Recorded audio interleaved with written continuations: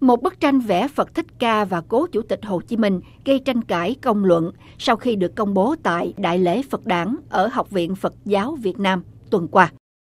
Bức tranh Đạo Pháp và Dân tộc được ra mắt tại Học viện Phật giáo ở Sóc Sơn, Hà Nội hôm 10 tháng 5 do Thượng tọa Thích Thanh Quyết, đại biểu Quốc hội Việt Nam khóa 14, khai bút. Trong đó một bên vẽ Phật Thích Ca Mâu Ni và một bên vẽ Chủ tịch Hồ Chí Minh, ở giữa là bánh xe chuyển Pháp Luân. Nhiều người dùng mạng xã hội cho rằng vẽ hình Đức Phật và Hồ Chí Minh ngang hàng trên bức tranh là không thích hợp và là một sự bán bổ Phật giáo. Ông Nguyễn Định Hách, một người dân trong nước thường tìm hiểu về Phật giáo, cho rằng tác giả hoặc là thiếu hiểu biết về Phật giáo hoặc là phục vụ cho một ý đồ chính trị nào đó. Blogger Trương Huy Sang ca thán trên trang cá nhân rằng chỉ trong thời mạt Pháp, các chức sắc của một tôn giáo có đông tín đồ nhất mới tuột xuống hàng cuối cùng về văn hóa và tư cách như thế. Ông Hà Huy Thanh, người đưa ra sáng kiến vẽ bức tranh này, nói với báo chí trong nước rằng ông đón nhận những ý kiến trái chiều từ dư luận.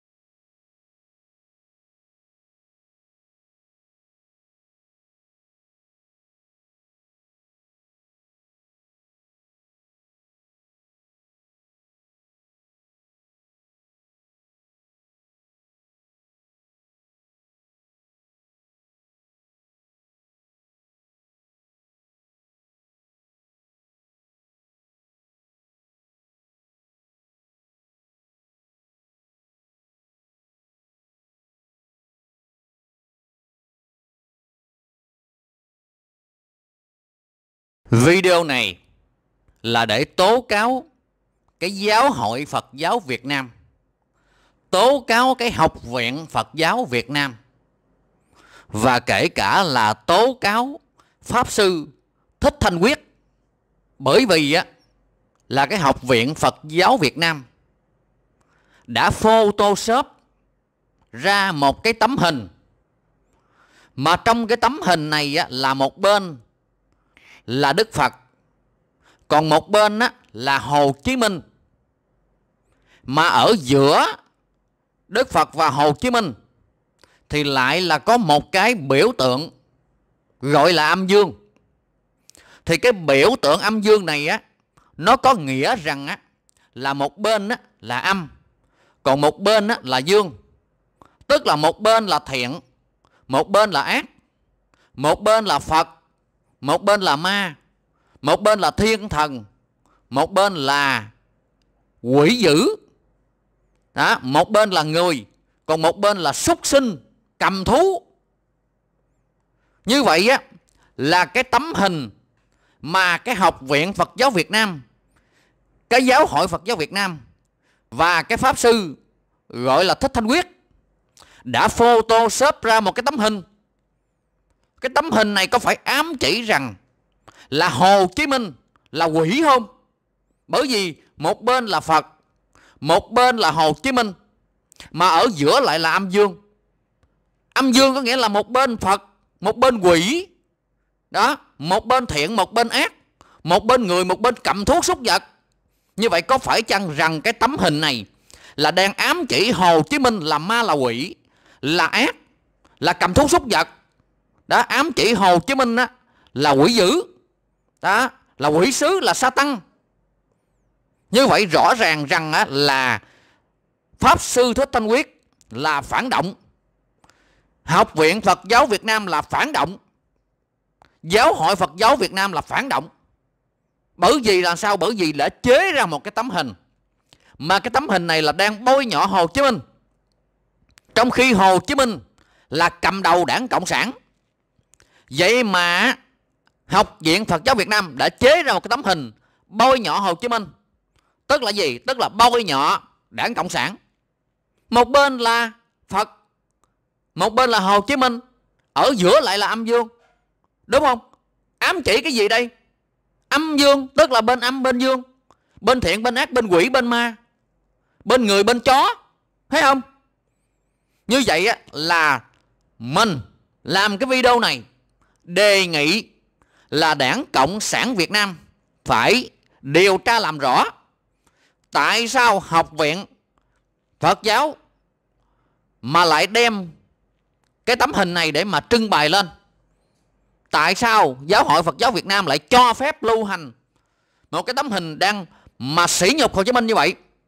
À, tại sao pháp sư thích thanh quyết lại cho phép mà thậm chí là còn đứng chụp hình cười cợt hân hoan với một cái tấm hình, mà cái tấm hình này nó đang bôi nhọ Hồ Chí Minh. Trong khi Hồ Chí Minh là cầm đầu, đó, là đảng cộng sản. Đó, vậy thì bây giờ đề nghị là pháp sư thích thanh quyết phải giải trình cho nó rõ ràng. Đề nghị đảng cộng sản việt nam phải yêu cầu giáo hội, yêu cầu, đó, là học viện phật giáo phải làm rõ coi tại sao lại đi bôi nhọ hồ chí minh như vậy. Còn nếu như mà muốn duy trì cái tấm hình photoshop này, thì bắt buộc là phải thay cái biểu tượng ở giữa. Nó không thể nào là âm dương được.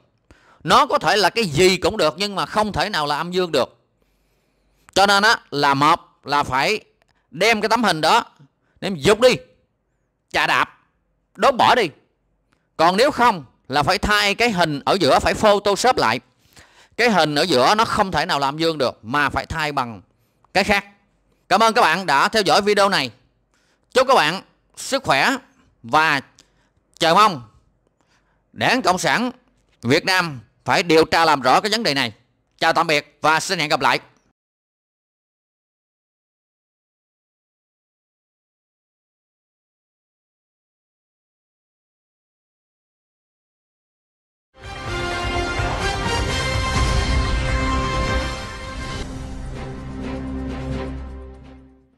Xin kính chào quý vị. Sau đây mời quý vị theo dõi phần bình luận với tựa đề Công ty cổ phần kinh doanh Phật giáo Việt Nam. Bài viết do JB Nguyễn Hữu Vinh biên soạn, quan chương trình bày. Thưa quý vị, kể từ khi Cộng sản cướp được chính quyền vào tay mình, với một chủ nghĩa vô thần mang tên Mark Lenin được coi là một sợi chỉ đỏ, làm nền tảng tư tưởng xã hội Việt Nam, Việt Nam đã có nhiều thay đổi. Quá trình tiến hành đồng thời ở ba cuộc, đó là cách mạng mang tên cách mạng về quan hệ sản xuất, cách mạng về khoa học kỹ thuật và cách mạng về tư tưởng văn hóa. Cộng sản đã biến đất nước thành một cuộc thí nghiệm vĩ đại cho chủ thuyết cộng sản. Để rồi cho tới nay, dù không chịu thừa nhận thì trên thực tế, cái gọi là ba cuộc cách mạng nói trên đã hoàn toàn bị thất bại. Trước hết là cuộc cách mạng về quan hệ sản xuất với chủ đích xóa bỏ mọi tính chất tư hữu trong xã hội và xây dựng một nền kinh tế kế hoạch tập trung, cướp đoạt bằng cải cách ruộng đất và xóa bỏ mối quan hệ xã hội kiểu phong kiến lạc hậu, vân vân. Thì sau khi cướp ruộng đất chia cho dân cày, Cộng sản trở lại cướp ruộng đất của những người dân vào tay quan chức Cộng sản để thay cho các địa chủ thời xưa. Sau khi hô hào cả xã hội đánh tư sản, cải tạo công thương nghiệp tư bản, tư doanh vân vân thì ngày nay Cộng sản lại hình thành các tập đoàn sân sau của quan chức những tư bản đỏ ra đời thay cho những tư bản ngày xưa. Điều khác biệt ở đây chỉ là ở chỗ những địa chủ mới, những tư bản đỏ ngày nay được hình thành bởi tính chất cướp bóc vô luân và vô luật trên sự đau khổ và cùng quẫn của người dân một cách trắng trợn chứ không được hình thành từ khả năng và tư chất cũng như là những tài nghệ của mình như trước đây. Tiếp đến, cuộc cách mạng về khoa học kỹ thuật được coi là then chốt, là quan trọng, được ưu tiên thì ngày nay cả đất nước gần 100 triệu dân mà nền sản xuất công nghiệp chưa làm nổi một con ốc vít đạt tiêu chuẩn quốc tế. Riêng cuộc cách mạng về khoa học kỹ thuật thì có nhiều chuyển biến rõ nét và thành quả, hay nói đúng hơn là hậu quả của nó hết sức dễ dàng nhận thấy trong đời sống xã hội. Với tính chất vô thần, với quan niệm vật chất quyết định ý thức và ngay từ đầu, người Cộng sản đã chủ trương tiêu diệt tôn giáo, thay đổi tư tưởng con người bằng mọi cách mọi hình thức có thể nhằm tạo ra cái gọi là con người mới xã hội chủ nghĩa. Thành quả để lại là một lớp con người mới xã hội chủ nghĩa, lãnh đạo đất nước, đưa xã hội trở thành xã hội vô luân, vô đạo đức và nô lệ. Những hành vi không tính người được khuyến khích phát triển, lấy bạo lực làm đầu và dối trá làm phương tiện sống mà tiến thân. Mâu thuẫn của xã hội đẩy lên cao và sự phân biệt con người miệt thị tôn giáo cách ngang nhiên trắng trợn trong xã hội là chuyện bình thường. Chủ trương đó được thực hiện qua nhiều thời kỳ bằng phương thức khác nhau. Trước hết là đập bỏ, tiêu diệt mọi cơ sở vật chất của tôn giáo, xóa bỏ các trường đào tạo tu sĩ, chặt đứt mọi sự liên lạc của tôn giáo với thế giới bên ngoài. Hàng loạt đền, chùa, miếu mạo bị đập nát, tượng Phật đã bị trẻ đôi làm củi đun. Chùa chiền được tháo ra làm chuồng trâu, chuồng ngựa, mà nhà thờ thánh thất biến thành nhà kho, tu viện, biến thành nơi kinh doanh, nhảy múa, vân vân. Theo một nhà nghiên cứu, riêng tỉnh Nghệ An có đến 500 ngôi chùa thì đã bị đập phá gần như hoàn toàn. Số còn lại là 28 chùa trong điều kiện có cũng như không. Cũng theo các con số được công bố thì Giáo hội Công giáo Việt Nam hiện vẫn còn 2.500 nơi thờ tự bị nhà nước Cộng sản chiếm, cướp, chia chác và biến tướng không chịu trả lại. Hệ thống đào tạo giáo dục và tuyên truyền bằng mọi cách tạo những mâu thuẫn nội bộ trong nhân dân để bài xích, để phân biệt và khủng bố tôn giáo cách trắng trợn. Những người theo con đường tu hành bị bắt bớ bỏ tù hàng loạt và đầy ải chết chóc trong các trại giam. Những giáo dân bị phân biệt trong mọi lĩnh vực của xã hội, trong công việc, trong cuộc sống. Họ bị coi là công dân hạng hai với đủ mọi thứ xấu xa, lạc hậu và phản động mà hệ thống tuyên truyền cộng sản có thể nghĩ ra được. Tôn giáo có đông tín đồ nhất Việt Nam là Phật giáo cũng được Cộng sản quan tâm, tiêu diệt hàng đầu và đã hết sức thành công. Sau một thời gian, cái chủ thuyết vô thần không thể tiêu diệt được niềm tin tôn giáo của người dân vốn đã từ ngàn đời nay tồn tại. Tuy vẫn kiên định chủ trương tiêu diệt tôn giáo, nhưng Cộng sản thi hành một chính sách khác hơn. Đó là khuynh loát và phá hoại từ phía trong, từ đầu não của Phật giáo và phá hoại từ cốt lõi, từ giáo lý, từ căn nguyên của Phật giáo Việt Nam. Và đại nạn Phật giáo đã bước vào giai đoạn đỉnh điểm khủng khiếp nhất trong lịch sử của Việt Nam bắt đầu từ việc buộc giải tán các hệ phái khác nhau để nhập lại một giỏ gọi là Giáo hội Phật giáo Việt Nam với phương hướng hành động và đạo pháp dân tộc và chủ nghĩa xã hội dưới sự quản lý của đảng Cộng sản vô thần. Người dân gọi đây là Phật giáo quốc danh. Thế rồi, hàng ngũ sư sãi mậu dịch được đào tạo bởi các trường công an. Công an được biệt phái sang làm nhiệm vụ chính trị với nghề sư sãi, cái mỏ và một cà sa là vũ khí. Người dân mê tín là đối tượng tác chiến. Và những tay công an có vợ con ở tỉnh này, địa phương này được gài vào làm sư ở địa phương khác, tỉnh khác. Hàng tuần hàng tháng có thể về thăm vợ con và đủ mọi trò ngược đời sống tu hành. Điều hết sức hài hước là một tôn giáo từ lâu đời được lãnh đạo dẫn dắt bởi một đàn sư sãi là đảng viên Cộng sản vô thần và thậm chí có những tên còn đến 50 tuổi đảng và cấp bậc cao nhất trong lực lượng công an để có thể bằng trị bằng em với lại các đồng chí của mình trong hệ thống tham nhũng, kiểm trác ở mọi mặt trận và ăn của dân không chừa một thứ gì, thì các sĩ quan an ninh hành nghề sư sãi mặc sức bề đặt các món mê tín dị đoan và lừa đảo để hành nghề hốt bạc. Nào là nhà chùa cúng sao, giải hạn, xem ngày xem tháng, rồi gọi vong báo oán, vay nợ đầu năm, phát ấn vân vân. Hầu hết những trò mê muội này đều đi ngược lại và phá nát hệ thống giáo lý nhà Phật dẫn đưa người dân đi vào cõi u mê và đe dọa cuộc sống của họ bằng cách bịa đặt, dọa dẫm họ phải nôn ra bằng được những đồng tiền mồ hôi nước mắt của họ làm ra. Thực chất thì Cộng sản Việt Nam đã thành công trong việc biến Phật giáo thành một tổng công ty cổ phần kinh doanh Phật giáo mà quan chức là cổ đông. Nghề kinh doanh chính là lừa đảo. Thưa quý vị, mới đây, chuyện dân sớ cầu an lừa đảo, thu hàng chục tỷ đồng mỗi năm của Thích Thanh Quyết là một cán bộ an ninh có cỡ nổi tiếng bằng những câu nói ngu xuẩn trên cái gọi là quốc hội bị báo chí tố cáo chưa xong, thì vụ chùa Ba Vàng của Thích Trúc Thái Minh thỉnh vong báo oán đã gây nên sự phẫn nộ khủng khiếp. Báo chí được bật đèn xanh vào trận chiến. Có điều, những vụ việc đó cũng là chuyện tất yếu trong nội bộ của đảng Cộng sản khi mà phe nhóm đang tàn sát lẫn nhau hiện nay. Và tất cả chỉ là quyền lợi vì lợi ích phe nhóm, hoàn toàn không vì bất cứ điều gì để đem đến một sự làm sạch sẽ hệ thống Phật giáo quốc doanh hiện tại. Bởi vì trên hết và nguồn gốc của sự suy đồi của Phật giáo Việt Nam hiện nay là đảng Cộng sản vô thần tổ chức và khuynh loát hệ thống này đến tận chân tơ kẻ tóc. Và như lời của Thái Bá Tân là một dịch giả, một nhà thơ đã viết rằng Đúng là thời mạt Pháp, sư toàn người an ninh muốn dẹp hết chùa bẩn, phải dẹp chùa Ba Đình. Thưa quý vị, vừa rồi là phần bình luận với tựa đề Công ty cổ phần kinh doanh Phật giáo Việt Nam. Bài viết do JB Nguyễn Hữu Vinh biên soạn Quang Chương trình bày. Cảm ơn quý vị rất nhiều đã theo dõi. Xin kính chào tạm biệt và hẹn gặp lại quý vị trong phần bình luận lần tới. Xin kính chào.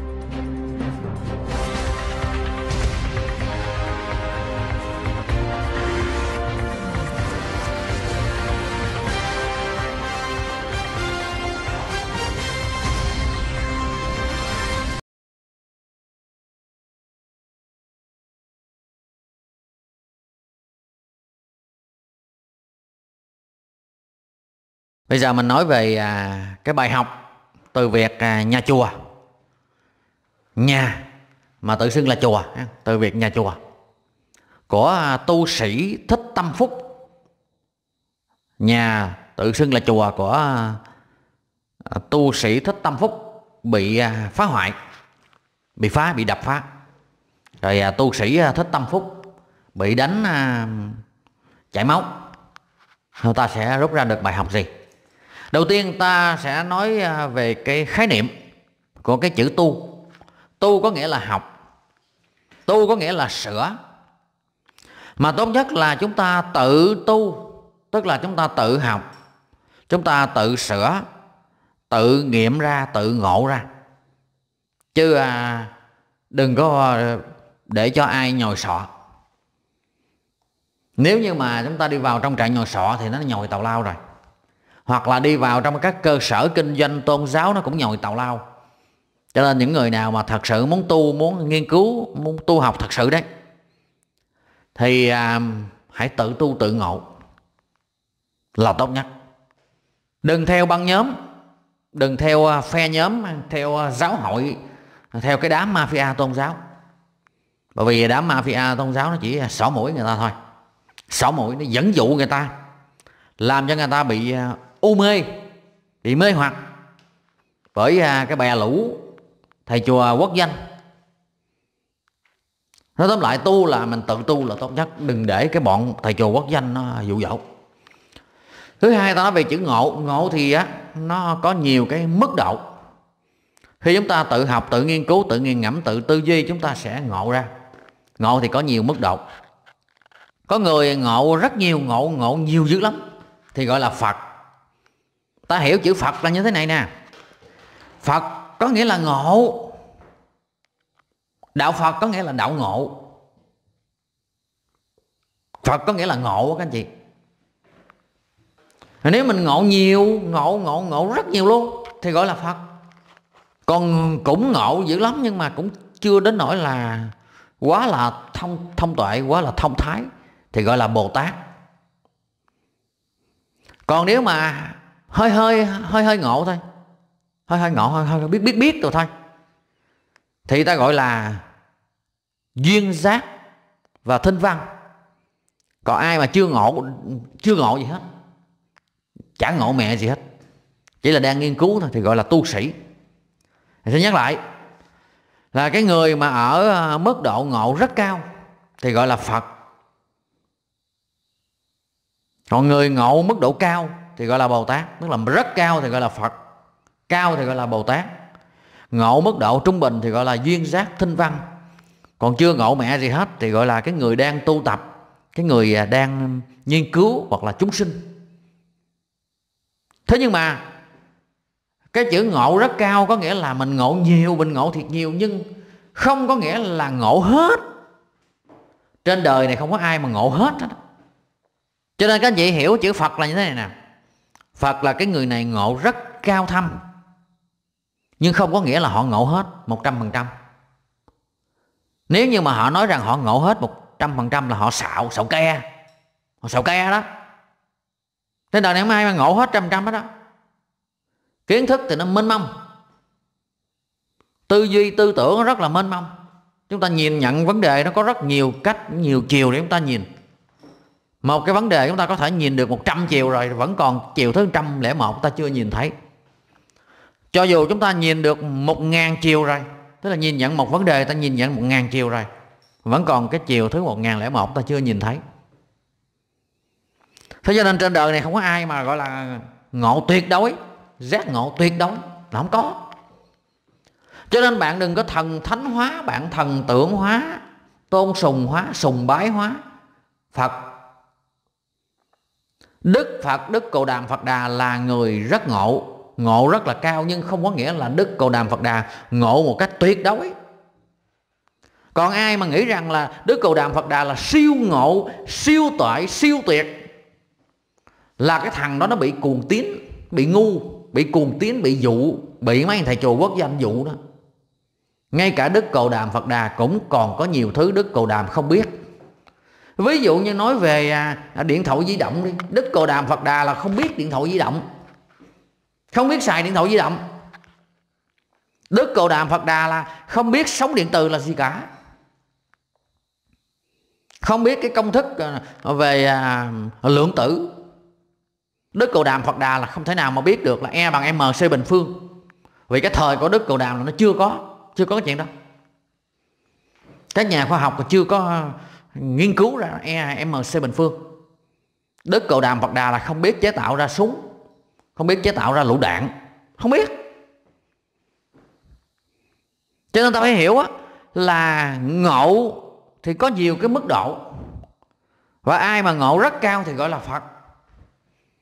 Ngộ cao thì gọi là bồ tát, ngộ trung bình thì gọi là duyên giác thinh văn.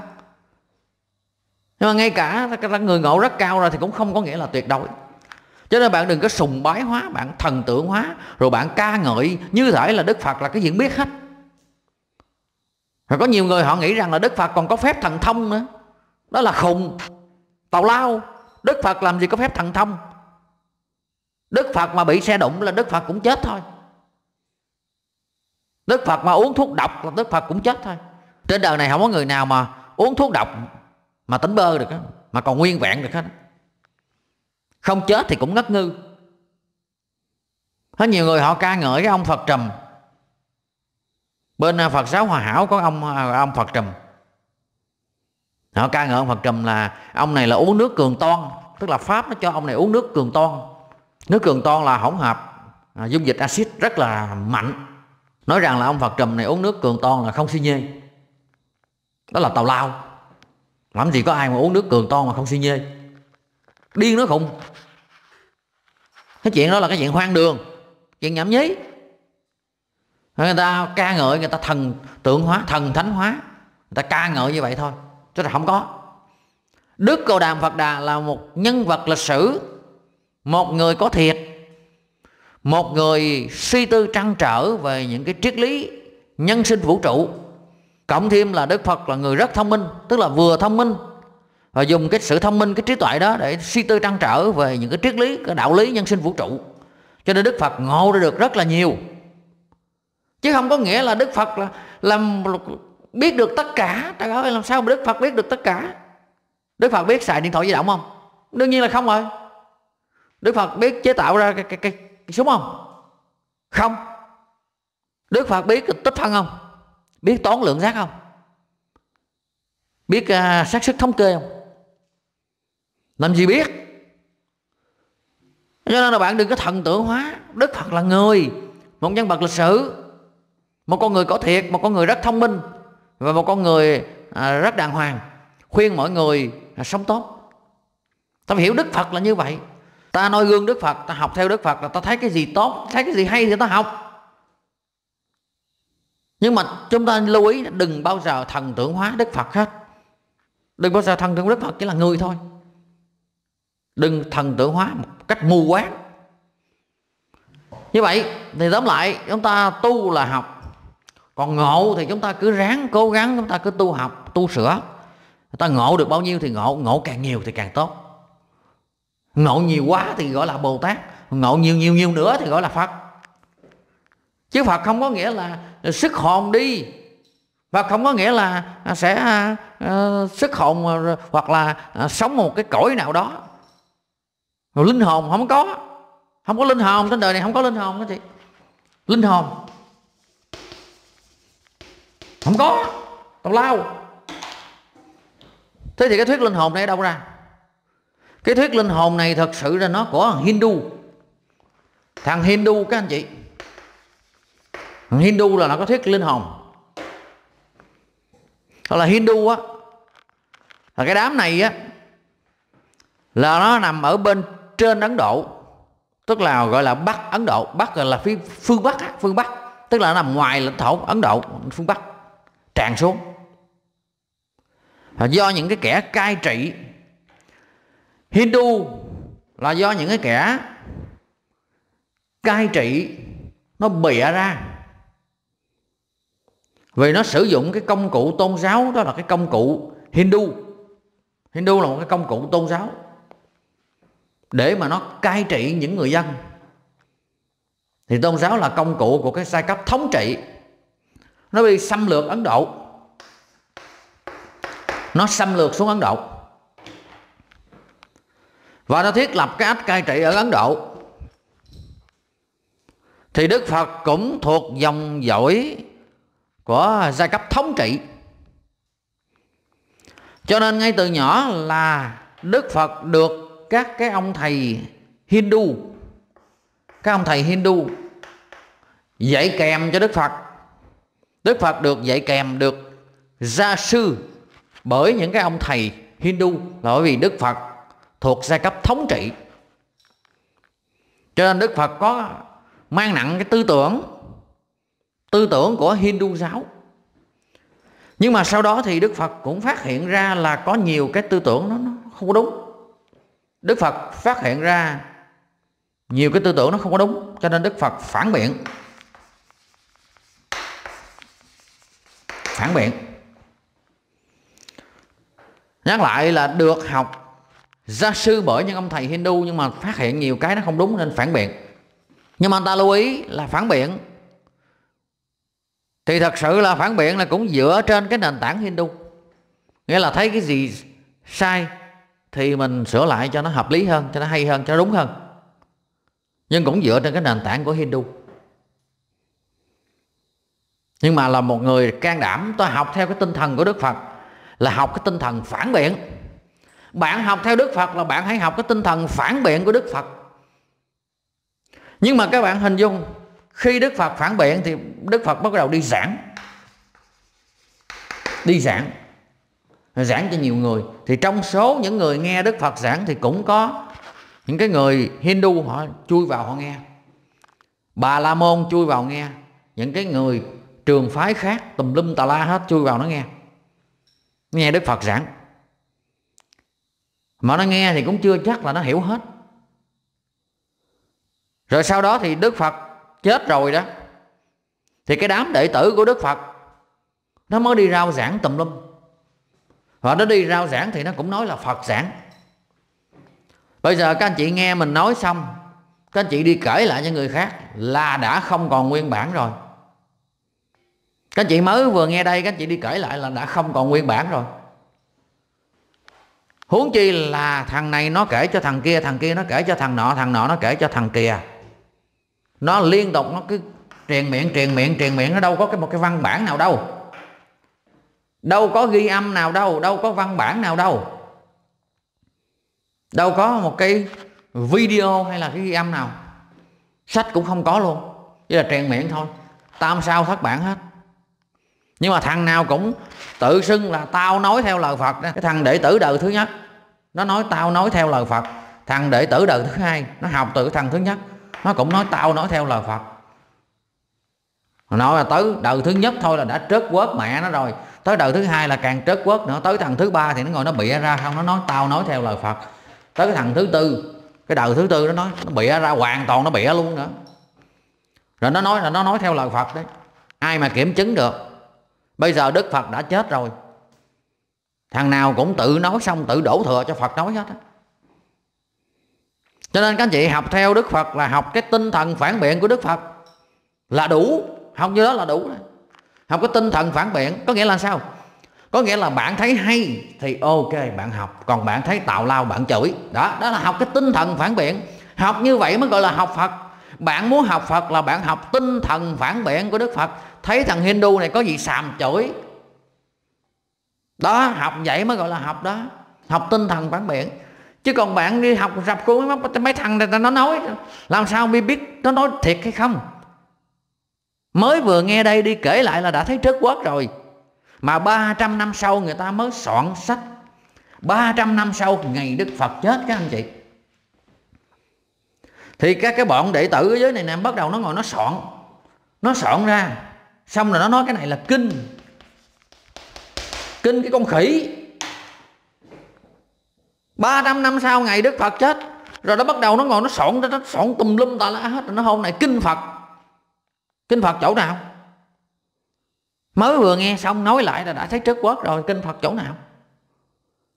Cho nên đừng bao giờ các anh chị rập khuôn máy móc, các anh chị tin răm rắp, tin sái cổ vào những cái quyển kinh đó đó. Không có đâu các anh chị. Các anh chị học là học tinh thần phản biện. Ok. Thấy đúng mình học, thấy sai mình chỉnh học như vậy thì các anh chị mới giác ngộ gọi là tự học. Cái đó gọi là tự tu, tự học, tự ngộ. Muốn ngộ càng nhiều thì các anh chị phải học càng nhiều và phản biện càng nhiều.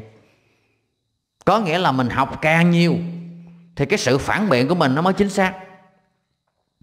Còn bây giờ mình học ít quá mà mình phản biện thì nó không không đủ kiến thức để mà phản biện.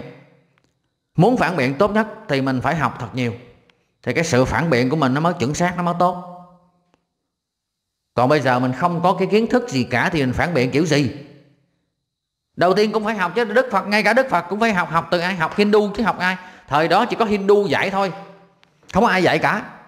Cái thời của đức phật chỉ có mấy ông thầy hindu dạy cho đức phật thôi chứ đâu có ai dạy đâu. Rồi sau đó là đức phật thấy cái nào hay thì thì học, còn cái nào tào lao thì phản biện. Cho nên là trong cái tư tưởng của phật thì nó cũng có hơi hám của một hindu. Nhưng mà các anh chị lưu ý nha, là đạo phật, nó không phải là quốc quốc đạo. Tức là nhiều cái tư tưởng của đạo phật là do phản biện cái bọn hindu này nè. Cho nên bọn hindu này nó rất là là không có ưa cái tư tưởng của đức phật. Mà khi nó không ưa tư tưởng của đức phật thì nó đuổi những cái người mà gọi là tôn sùng đức phật này nè. Nó đuổi ra khỏi quốc gia luôn. Nó không ưa, nên nó đuổi. Rồi sau đó thì cái bọn bà la môn á cái bọn bà la môn nó bắt đầu á là nó mới rao giảng. Mà thật ra là nó rao giảng để nhằm mục tiêu là giúp cho cái giai cấp thống trị thôi. Chúng ta lưu ý tôn giáo là nó chỉ nhằm mục tiêu là nó giúp cho cái giai cấp thống trị. Tại vì tôn giáo là do cái giai cấp thống trị nó giật dây thế cho nên là cái bọn bà la môn nó mới rao giảng, chủ yếu là làm sao để có lợi cho cái giai cấp thống trị. Nhưng mà do đức phật là người rất có uy tín. Cho nên nó khi mà nó giảng thì nó nói là phật nói. Nó nó, toàn là bọn bà la môn giảng không? Sau đó thì nó là phật nói phật nói phật nói phật nói. Đó. Thế người ta đã có cái lòng ngưỡng mộ đức phật thế người ta nghe phật nói thì tin sái cổ, nhưng mà thực sự ra những cái điều này để củng cố địa vị cho cái giai cấp thống trị mà thôi. Tóm lại, các anh chị học phật là các anh chị học cái tinh thần phản biện. Mình học càng nhiều và mình phản biện. Đó mới là học phật đó. Chứ còn những người nào mà cầm ba cái cuốn kinh mà tào lao thiên địa rồi ngồi đọc xong rồi lâm râm rồi tụng rồi tin sái cổ vào những cái quyển đó, đều là những kẻ mê lầm hết ta qua cái một số ba đó là chùa. Một số ba các anh chị, chùa. Thì đức phật không có chủ trương cất chùa. Và quan trọng nhất là đức phật truyền cái tư tưởng, là truyền giảng. Đức phật giảng. Đức phật giảng cái tư tưởng, cái suy nghĩ của đức phật cho mọi người nghe. Thì giảng thì ở đâu cũng được hết ở đâu mà có thể giảng được là ở đó, cứ giảng thôi, ngồi gốc cây. Nếu mọi người tập hợp lại là ngồi giảng thôi. Hoặc là có cái mái hiên nào đó, đủ che nắng, che mưa, thì có thể ngồi giảng được là cứ giảng thôi, không cần thiết phải chùa. Cho nên đức phật là không có chủ trương các chùa đâu. Quan trọng nhất là tu học, tu sửa để mà ngộ. Phản biện, tinh thần phản biện để mà ngộ, đó là mới là quan trọng thế thì chùa là do ai bày ra cái chùa đây? Đó là do cái bọn bà la môn.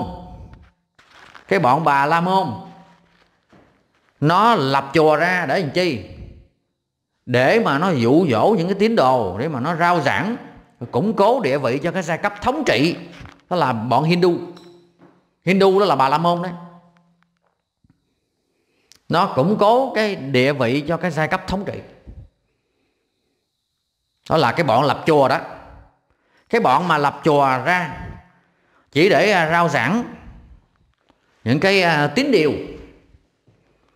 Dụ dỗ những cái người u mê, những người mà không có tinh thần phản biện. Họ đi vào đó, họ cúng kiến. Mà đem cái tiền đó, củng cố tài lực, địa vị cho cái bọn thống trị mà thôi. Bành trướng tín đồ, dụ dỗ càng nhiều người ngu kinh doanh tôn giáo. Đấy, chùa là thật ra mục đích của cái chùa. Chúng ta phải hiểu mục đích của cái chùa. Là để bành trướng tín đồ. Dụ dỗ người ta cúng tiền vào. Cung cấp tài lực cho giai cấp thống trị. Củng cố địa vị cho giai cấp thống trị. Kinh doanh tôn giáo, siêu lợi nhuận mà thôi.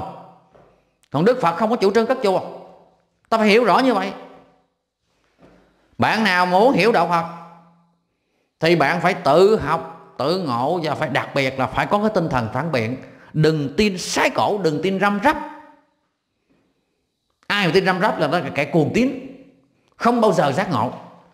Bạn đọc kinh, những cái cuốn sách mà nó tự xưng là cuốn kinh đấy, bạn tin sái cổ vào đó, mãi mãi không bao giờ giác ngộ được.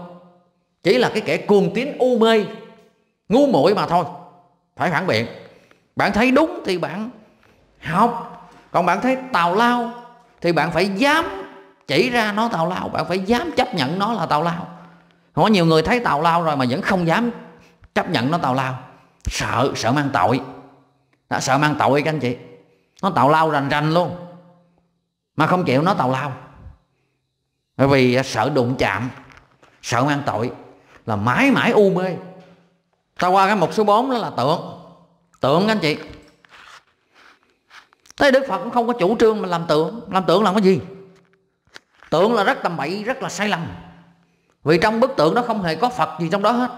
Trong bức tượng không hề có Phật Không hề có Chúa Không hề có thần linh thần thánh nào trong bức tượng hết. Bức tượng nó chỉ là cái cục xi măng, cục đá, cục gỗ Cục mũ. Bây giờ nó có là cái công nghệ làm tượng bằng, bằng nhựa đó. Tức là nó nấu chảy nhựa, nhựa tái chế các anh chị. Bây giờ nó có đi mua lấy nhựa gì ve chai á nhựa ve chai, nhựa tái chế đâu đó, đem nấu chảy ra xong đó đổ vào cái cái khuôn.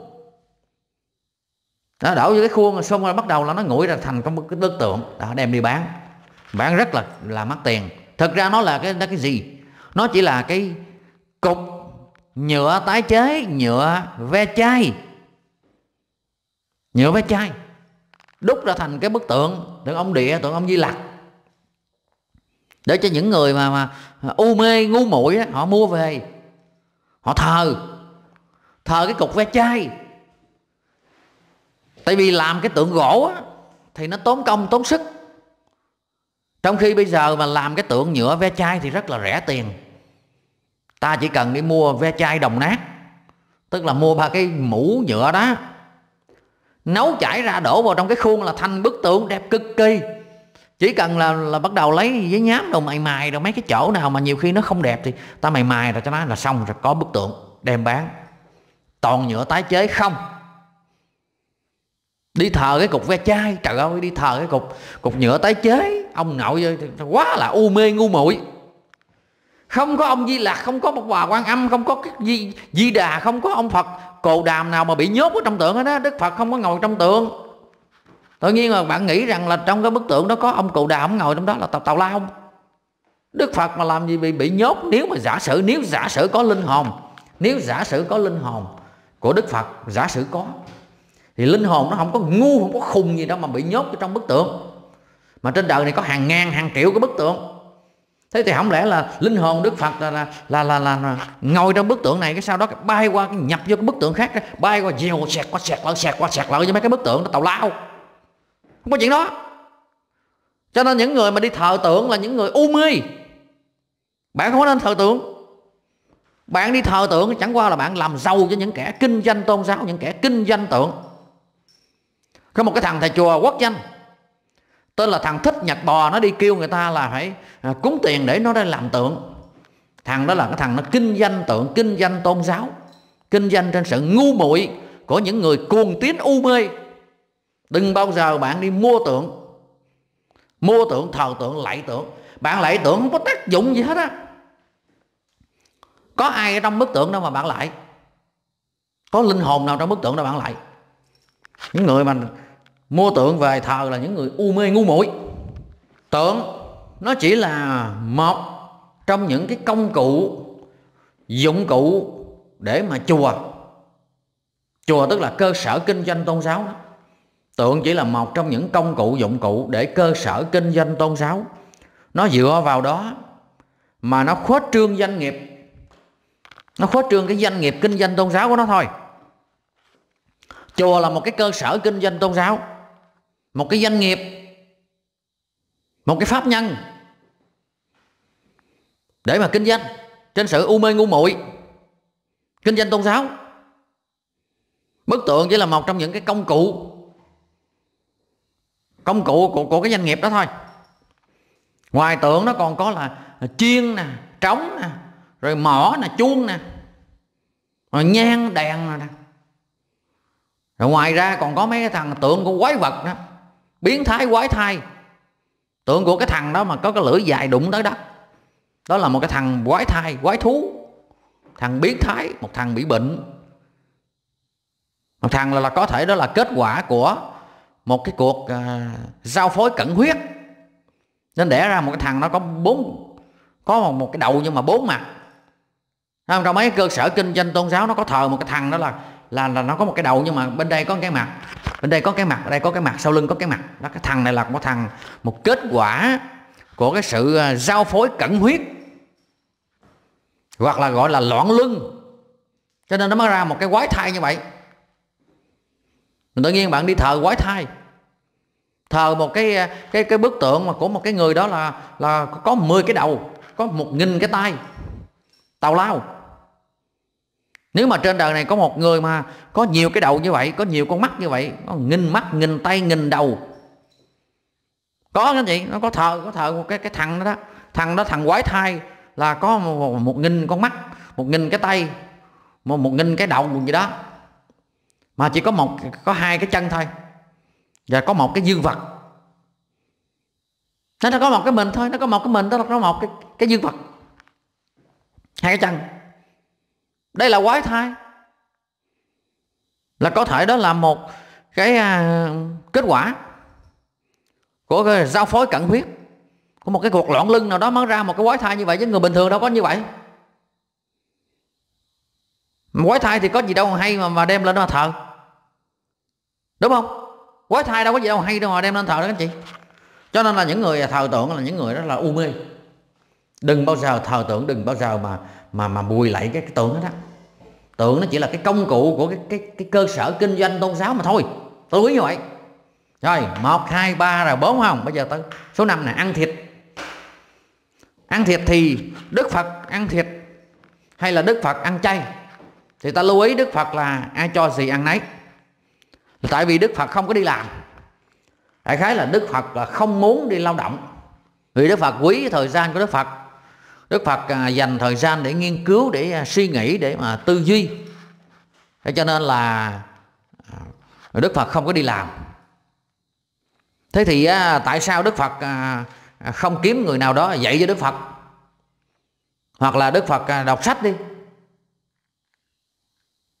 tại vì là cái thời đó là những cái người mà giỏi nhất. Những người giỏi nhất là ông vua ổng đã mời về hoàng cung để mà dạy cho đức phật rồi. Thế nên những người giỏi nhất thời đó đã đến dạy kèm với đức phật rồi. Vậy thì đức phật thì cần ai dạy nữa? Bây giờ có đi hết thiên hạ thì cũng đâu có tìm ra được nữa đâu, bởi vì mấy ông giỏi nhất là đã mời về hết rồi.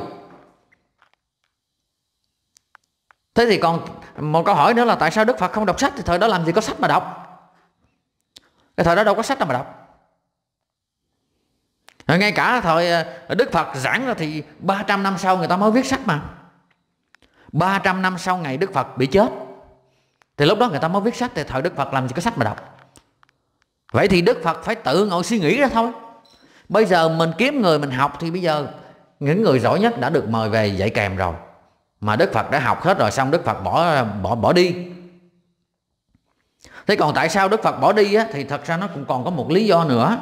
Nhưng mà lý do nó rất là nhạy cảm cho nên mình không có giảng trong cái video này. Lý do mà Đức Phật bỏ đi á là mình có nói ở trong cái à, chiến lược kinh doanh ngược. Chiến lược kinh doanh ngược. Tại vì lý do này nó nhạy cảm chứ lắm. Nói đây là nhiều người họ không hiểu nó mất công họ chửi nữa cho nên là mình không có nói ở đây. Mà trong chiến lược kinh doanh bạn nào thật sự muốn tìm hiểu, bạn học cái video chiến lược kinh doanh ngược là bạn biết tại sao Đức Phật bỏ đi. Có lý do hết. Tại sao Đức Phật bỏ vợ, bỏ con, bỏ đi? Tại sao không trách nhiệm lo cho vợ, cho con? Có trách nhiệm, mà lại bỏ đi. Nằm trong chiến lược kinh doanh ngược, mình giải thích rất là rõ cho các anh chị. Thế thì bây giờ á, tóm lại là thời đó không có người giỏi hơn nữa, vì đã học hết rồi thứ hai không có sách cho nên phải tự ngồi suy nghĩ. À mà suy nghĩ thì gọi là gì? Suy nghĩ thì gọi là thiền định. Thiền định có nghĩa là mình ngồi mình suy nghĩ hoặc là mình nằm mình suy nghĩ hoặc là mình vừa ỉa mình vừa suy nghĩ hoặc mình vừa ăn mình suy nghĩ. Nói chung là tóm lại là mình suy nghĩ. Thiền định có nghĩa là suy nghĩ. Ta phải hiểu như vậy chứ không phải thiền định là mình phải ngồi đâu nhất thiết phải ngồi đâu. Anh chị hình, hình dung chưa? Cái quan trọng là mình suy nghĩ mình suy nghĩ, mình tư duy để mình ngộ ra. Cái đó mới là quan trọng, chứ đâu cần thiết phải ngồi. Ngồi cũng được, nằm cũng được, đang tắm cũng được, đang đi ỉa cũng được. Ta phải hiểu chữ thiền. Là như vậy đấy. Thiền có nghĩa là suy nghĩ thôi. Cái đâu nhất thiết là phải ngồi. Nếu mà bạn ngồi im ru như vậy đó, thì cái đó gọi là ngồi im, chứ không phải thiền bây giờ có những người họ, khoanh chân lại họ kiết già họ bỏ hai cái chân chân này chéo chân kia. Họ, họ chấp tay lại họ ngồi im ru như vậy đó. Cái đó gọi là ngồi im chứ không phải ngồi thiền.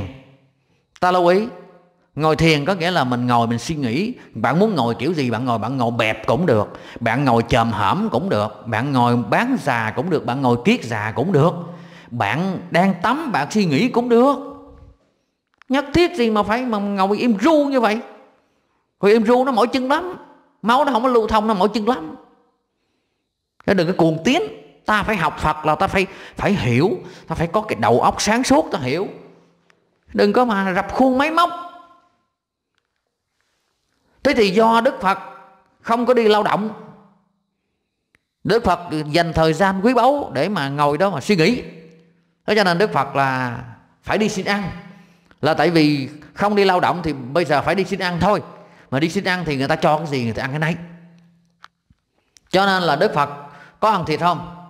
Cũng có. Ai cho gì ăn nấy. Rồi Đức Phật ăn chay, nhưng mà Đức Phật cũng khuyên mọi người là ờ, cho cơm Đức Phật thì cho đồ chay. Chứ đừng có cho, đừng cho thịt. Đó Đức Phật khuyên như thế, nhưng mà người ta chỉ có thịt thôi thì người ta cứ cho thịt đấy, thì cũng phải ăn. Thế thì Đức Phật không có ăn khoa học thực dưỡng. Đức Phật là không có biết tới là khoa học y học thực dưỡng vườn rừng. Đức Phật không ăn theo khoa học thực dưỡng. Ai cho gì ăn nấy. Nhưng mà chủ trương của đức phật là để cho người ta à, đừng có à, khổ sở người ta làm đồ ăn ngon. Thì khi mà đức phật đi xin ăn á thì à, đức phật xin một nhà đức phật xin một lần thôi.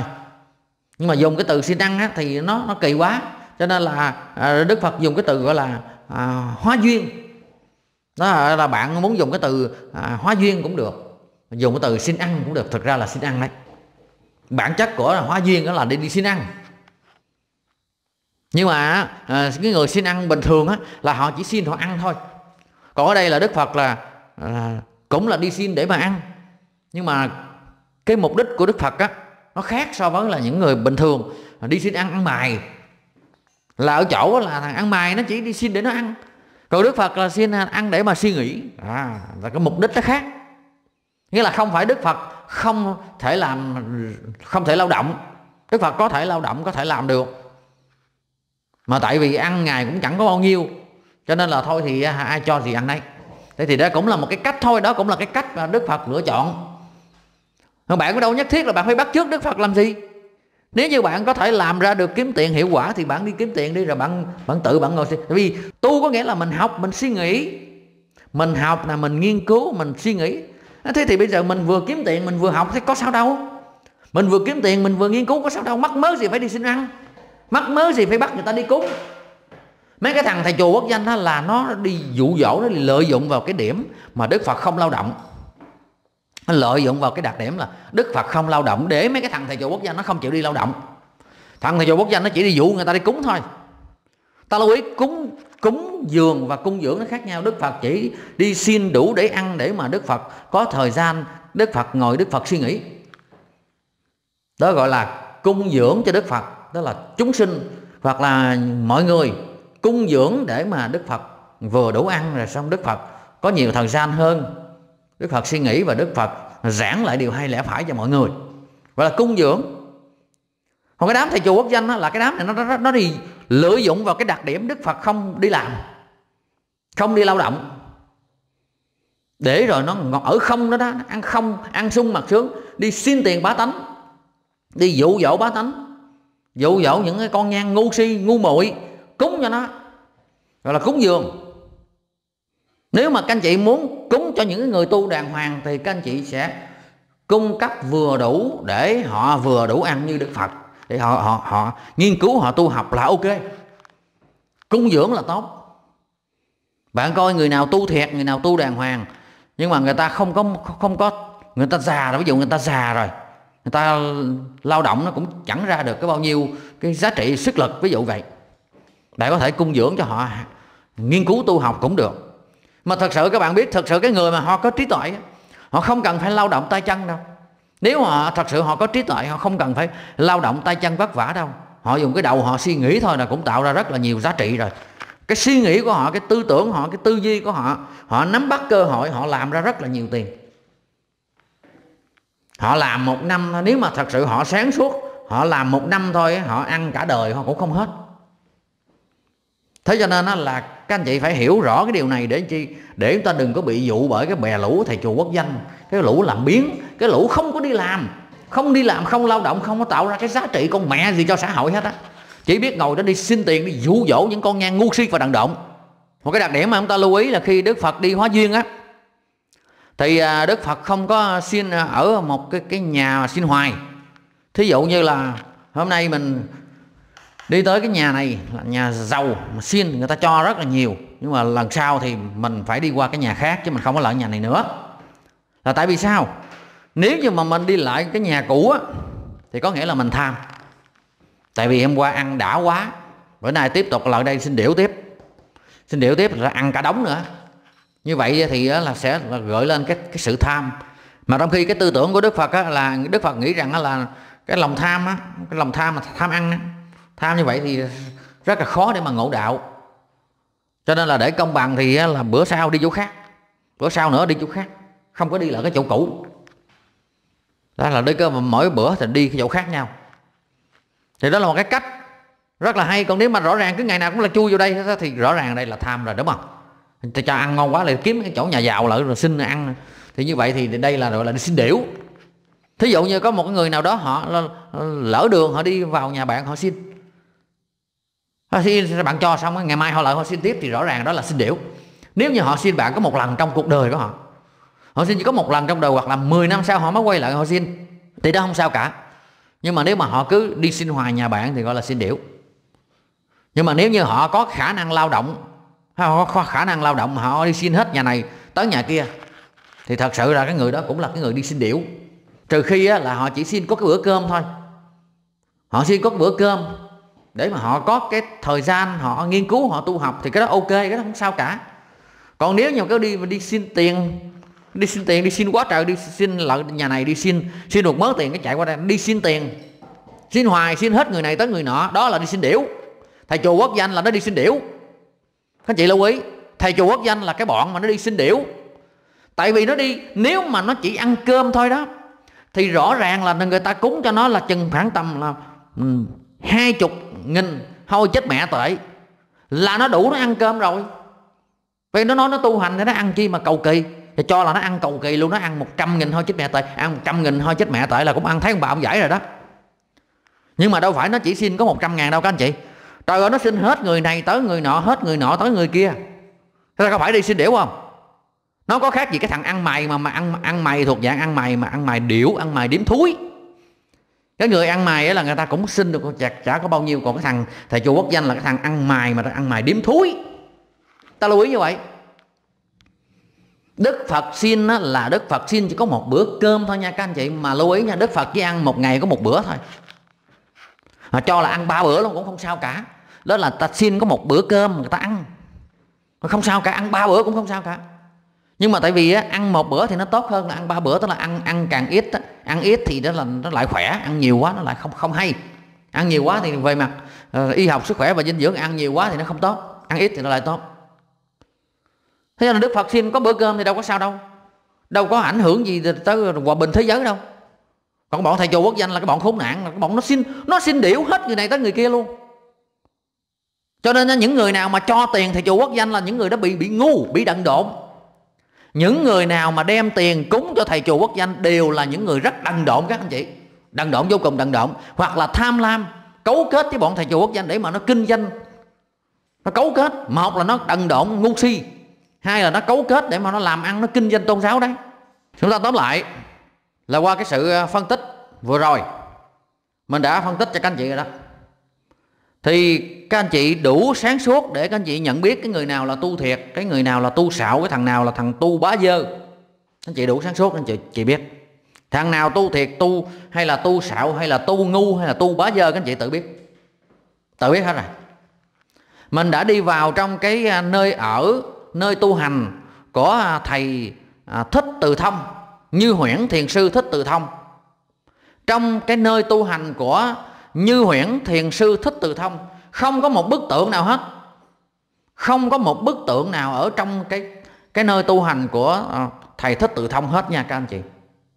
Và ngay cả cái ờ, cục đá cục đá rất là to để cái, cái tu hành nó cũng không có ghi. Gọi là ví dụ như là ghi ờ, tịnh thất hay là ghi chùa hay là chẳng có ghi gì cả. Người tu thật sự là như vậy đó các anh chị. Tu là mình học mình nghiên cứu thiền định có nghĩa là mình tư duy.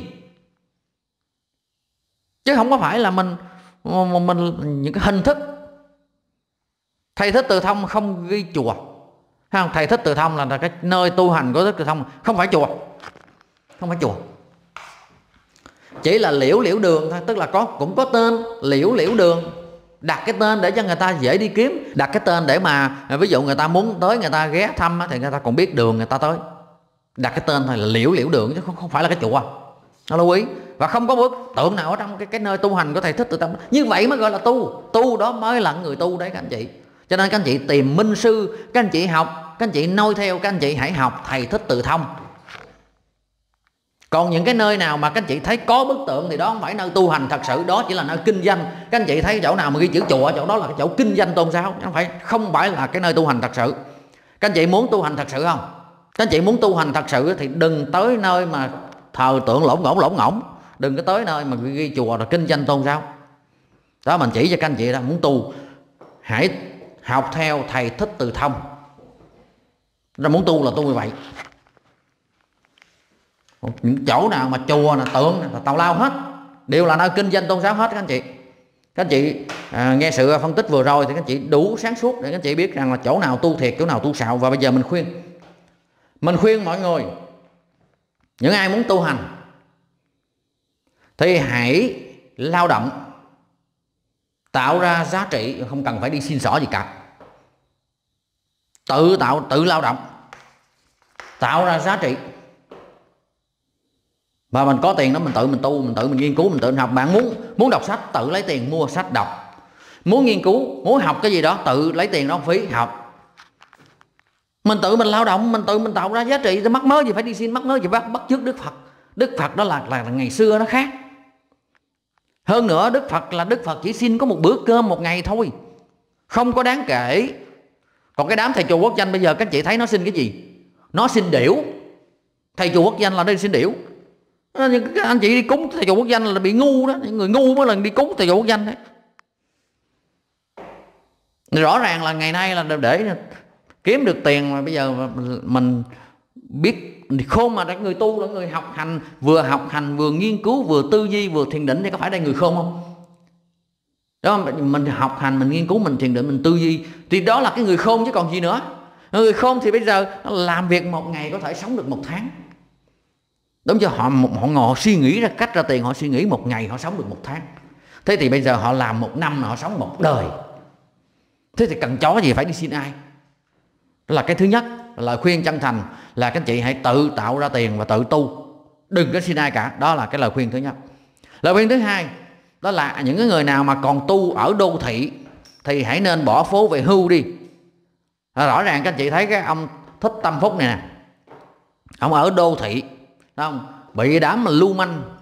Đám mà lưu manh là nó nó phá phá nhà của ông.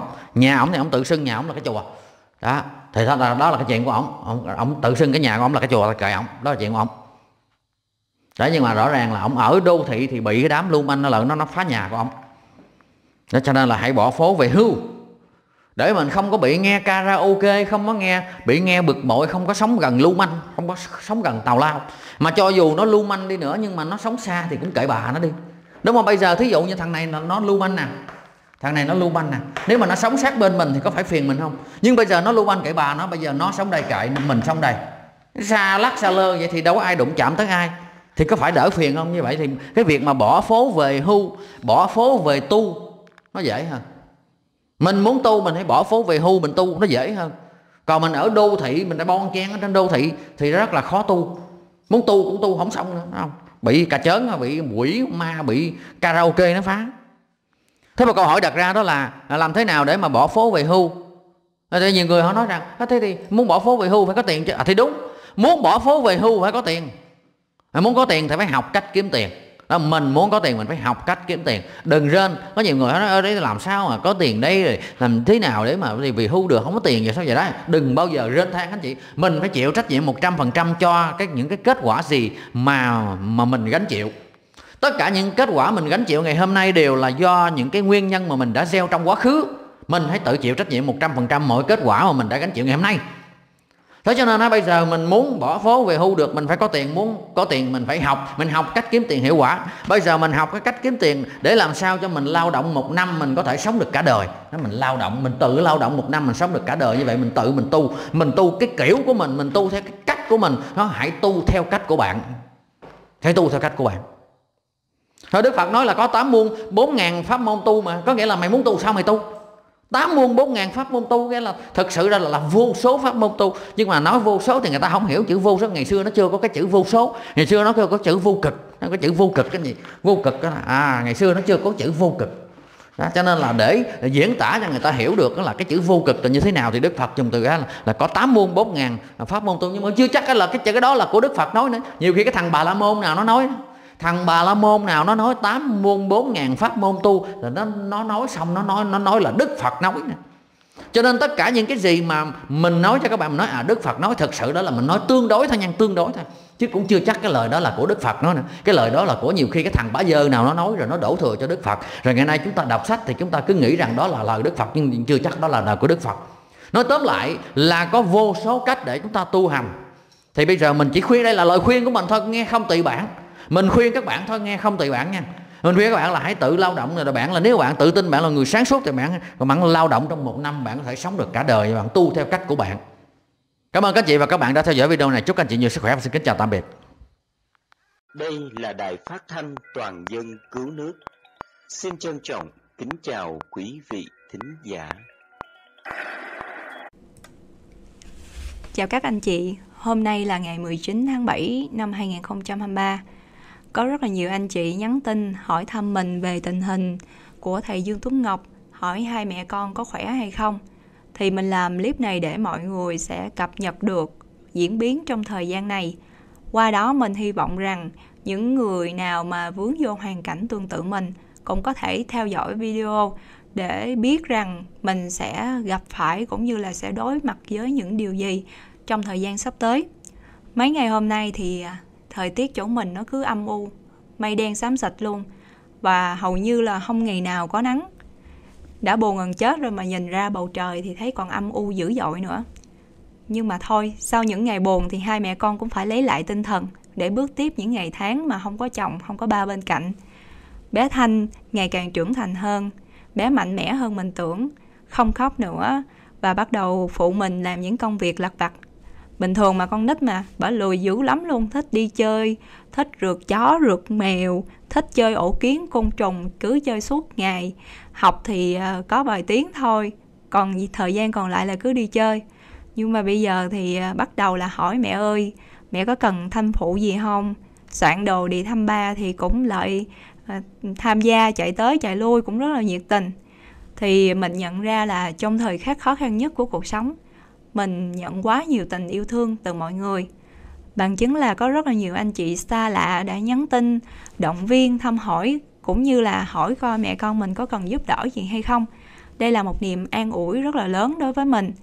Có anh chị thì ờ, sẵn sàng tâm sự với mình cả đêm luôn, vì họ sợ mình không có đủ mạnh mẽ để vượt qua. Có những người sẵn sàng nghe những cái cuộc điện thoại vào giữa khuya để tư vấn giúp đỡ mình cũng có những người vợ, người mẹ của tù nhân lương tâm, tìm mọi cách kết nối với mình nhanh nhất để hướng dẫn, chia sẻ. Vì họ biết rõ đây là thời khắc yếu đuối nhất của một người phụ nữ.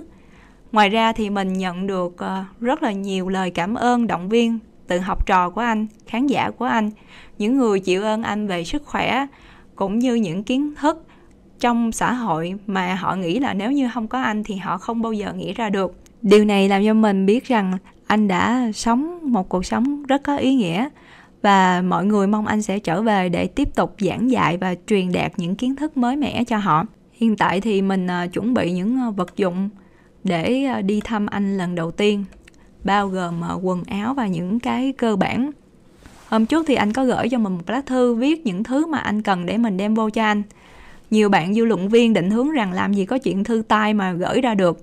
Thật ra thì thư này cũng được kiểm duyệt rồi chứ không phải là đi vô đó viết cái gì ra cũng được. Nội dung chính vẫn là những đồ vật mà anh đang thiếu thốn và anh muốn mình đem vô thôi. Anh ngọc anh cũng xin quản trại là cho mình đem một quyển sách về y học để anh có thể tiếp tục nghiên cứu và giảng dạy trong tương lai về lĩnh vực sức khỏe. Anh ngọc anh vậy đó. Tình yêu lớn lao của ảnh vẫn là sách vở. Ảnh hy vọng rằng mọi người có thể có một đời sống khỏe mạnh, thông qua cả thể chất và tinh thần anh báo với mình là tình hình sức khỏe tạm ổn và các à, bạn tù cũng đối xử tốt, thân thiện với anh. Cho nên là kêu mình đem thêm là mấy cặp kính bên tròn, bên vuông, bên trắng, bên đen của ảnh đó. Vì có hai người bạn tù là là xin để đeo giống ảnh. Đó mấy bạn thấy không? Mới vô là đã có bạn rồi. Ngoài ra thì anh cũng nói là anh đang à, hướng dẫn một số bạn tù tập uh, số nguồn tươi trẻ, yoga vì anh thấy trong này ai cũng ăn uống không có đúng bị à, bị mập cái kiểu phù thủng á, cho nên là cần phải có một phương pháp đúng để mọi người khỏe mạnh hơn. Thì à, đọc thư anh xong thì thấy à, tinh thần anh cũng rất là ổn đó và thích nghi cuộc sống cũng rất là tốt. Có một số anh chị hỏi rằng sao không chịu ở Sài Gòn đi, về quê chỉ cho bị bắt vậy tiện đây mình cũng kể một câu chuyện luôn. Nó mới xuất hiện ngày hôm qua và đây là một câu chuyện rất là có liên quan đến câu hỏi này có một chị chuyên bán phân ờ, hóa học cho toàn ờ, khu vực này nè. Hôm trước thì ờ, mình có làm việc với chị là mình đặt phân bò để rải trong cái vườn mình á. Cho nên là chỉ biết chỉ mới qua chơi. Ngoài qua chơi thì chị cũng chào hẹn thêm. Ví dụ như là cây này, cây kia thiếu nbk quá thì mua bón vô thêm đi. Nhưng hầu như gia đình mình thì không bao giờ là sử dụng phân hóa học hết vì mảnh vườn nhà mình á, là để chống 3 năm trời để cho phân thuốc hóa học các kiểu trước đó là nó trôi sạch luôn. Sau đó thì mình không phun sập bất cứ thứ gì. Thuốc diệt cỏ, thuốc trừ sâu là không có. Chỉ bón phân chuồng cho nó thêm phần mùng và thêm một xíu phân cho đất thôi, để đất hồi phục một cách tự nhiên. Chị bán phân hóa học ghé nhà mình sau một năm trời và chỉ vô cùng ngạc nhiên luôn chỉ nói, trời đất ơi, từ cái miếng đất trống mà tụi em đã xây dựng nên một chỗ mà quá trời cây trái xanh um như thế này, quá tuyệt vời luôn. Thì ờ, mình cũng vui vẻ, mình tiếp chỉ và tặng chỉ mấy cái loại trái cây trong vườn á.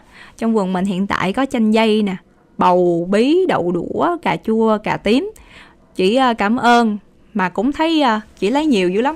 Chị nói trời ơi, mấy nay chị mới phát hiện chị bị ung thư.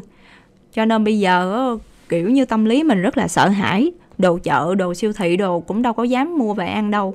Cũng bắt đầu tự trồng như em nè, chứ ờ, không có mua nhiều nữa. Chị nói là nguyên cái vùng này á, ai cho rau củ quả chị cũng không dám lấy. Bởi nhà nào bón cái gì là chị nắm hết, cho nên là cũng không có dám lấy về ăn đâu. Chỉ dám lấy ở cái vườn của em thôi. Thật ra thì qua câu chuyện này mình cũng nhận ra rằng là đến một độ tuổi nào đó, mọi người nhận ra mình đang cần gì và liệu tiền bạc có phải là tất cả vấn đề hay không sự ra đi của một số bạn bè sau đợt cách ly năm 2021 đã làm cho anh Ngọc và mình nhận ra rất là nhiều điều về cuộc sống ngắn ngủi. Cho nên anh Ngọc muốn giúp đỡ mọi người khỏe mạnh hơn qua cách ăn uống đúng, hít thở đúng và sống hòa nhập với thiên nhiên. Đó là lý do mà anh đã chọn bỏ phố về hưu và trải nghiệm một cuộc sống hòa nhập với thiên nhiên. Sau đó thì lan tỏa năng lượng tích cực này cho tất cả mọi người. Ngoài ra thì anh cũng mong muốn tụi mình trồng được những cái à, nông sản thiệt là sạch để cung cấp, chia sẻ cho cộng đồng khoa học thực dưỡng ờ, giúp đỡ những người nông dân đang trồng những nông sản sạch có thể tiêu thụ với một mức giá mà họ sẽ sẵn sàng trồng đồ sạch trong tương lai. Chắc có lẽ là tất cả các anh chị và mình đều đã chứng kiến rất là nhiều trường hợp đang khỏe mạnh rồi phát hiện bệnh nan y hoặc đang khỏe mạnh rồi tự nhiên bị đột quỵ ra đi vĩnh viễn lúc đó mình mới giật mình luôn. Sao mà quỹ thời gian của mình nó ngắn quá vậy? Nhưng mà một số người á, vẫn nghĩ rằng mình còn sống rất là lâu rất là dài. Mình cũng chưa có chết đâu. Nhưng mà cái chết nó đến đột ngột dữ lắm các anh chị. Cho nên dù bạn có tiền hay không dù bạn có quyền thế hay không dù bạn đang phục vụ hay là bảo vệ cho ai thì quỹ thời gian của chúng ta tất cả mọi người đều như nhau.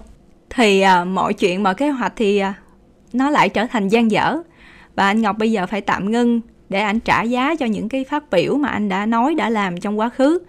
Hầu như từ ngày à, tụi mình về vườn á, bỏ phố về hưu thì anh Ngọc ít khi bàn về những vấn đề xã hội lắm. Bởi à, tụi mình nhận ra một vấn đề đó là một cá nhân tốt đẹp hơn khi chính họ muốn thay đổi, chứ không phải là người khác bắt họ thay đổi. Vợ chồng mình cũng từng nói với nhau rằng, cuộc sống luôn là những biến số không ngờ và là những bài toán đố không phải ai cũng giải được. Nhưng nếu mà ai giải được đứng lên từ vấp ngã thì mới là sống. Còn ai chấp nhận một cuộc đời bình yên sống theo ý của người khác không tư duy không phản biện trước những bất công những vô lý thì thật ra là bạn không có còn sống nữa. Mình uh, xin kết thúc video này tại đây và mình sẽ cập nhật thêm tình hình trong những ngày tới. Tạm biệt và hẹn gặp lại.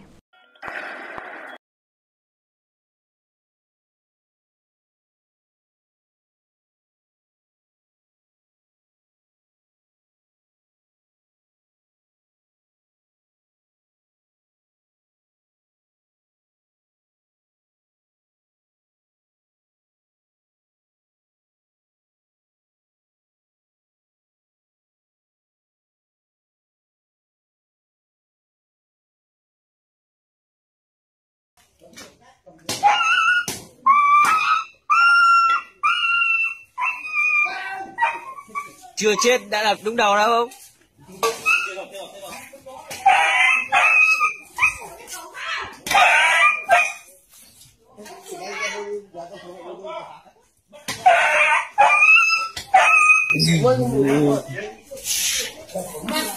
Đấy, rồi, kéo lên đó.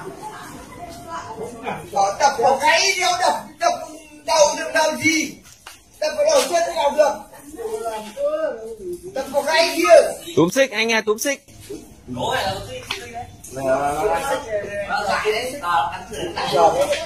Ông tổng qua chưa? Làm gì? cái cái, cái đầu đó ở đâu đây Ê, ông ông đừng vui đấy. Thật xấu quá mà đập vào gáy đâu, đập, cứ đập vào đầu. Đập vào đầu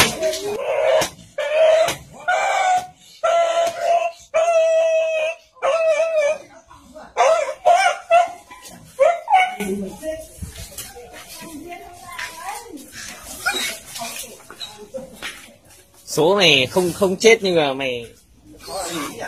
Ông tán luôn.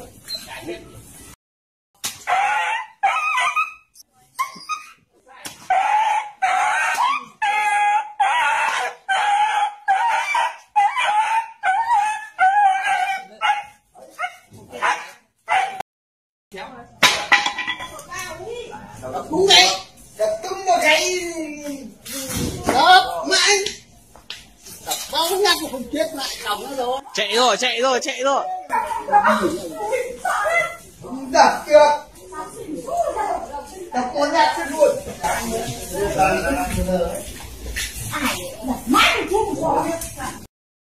đấy nhạt đòn chí hạng đấy. Nhát nữa ui trời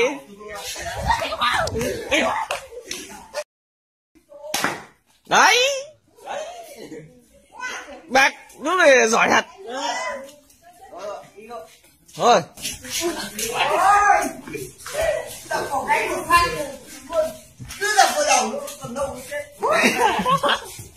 nói này còn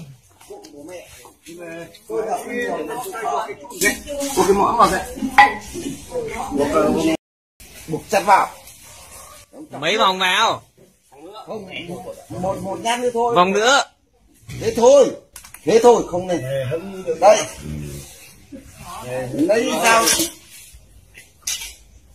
chọc.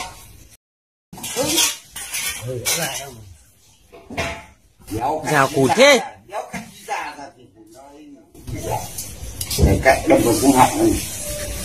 Đấy được rồi. Rồi vào đúng vào. Dao cụt sao? Nhưng nhưng dao nhưng... đấy bắt đầu chặt đi ông, ông chặt đi xong nó đấy nới nó chảy ra đây là cái mõm nó này hất ra thì giờ. Thế mà tiết nó phải chảy ong ọc cơ ừ, kéo đánh cái cành nhỏ. Nằm nòng thôi. Hứng nữa vào thì mới nó ra ngoài. Có tí tiết ra ngoài hết cho dao vào lách ra đấy dốc nhiều dốc cái ra đấy giờ bắt đầu nó còn thở nó còn thở nó còn thở nó còn thở nó còn thở đất còn thở. Đất còn thở. Đất còn thở. Đất còn thở. Đất còn thở. Đất còn thở. 那管他，好好好好好。